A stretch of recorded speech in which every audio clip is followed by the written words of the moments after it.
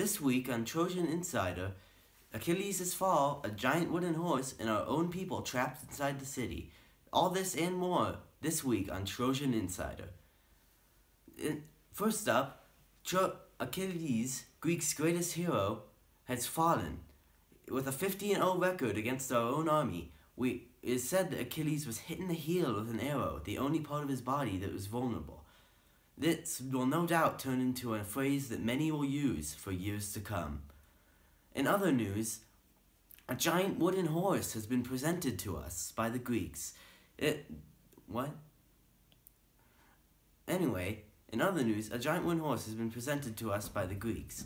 It is said that this is a gift, though others think this may be a devious plan. Either way, this gift will end the war. And finally, our own people are, are still trapped inside the city as it is under siege. They are starving, they are thirsty, everything is going to go downhill from here.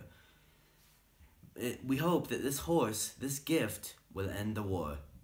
This has this been this week on Trojan Insider.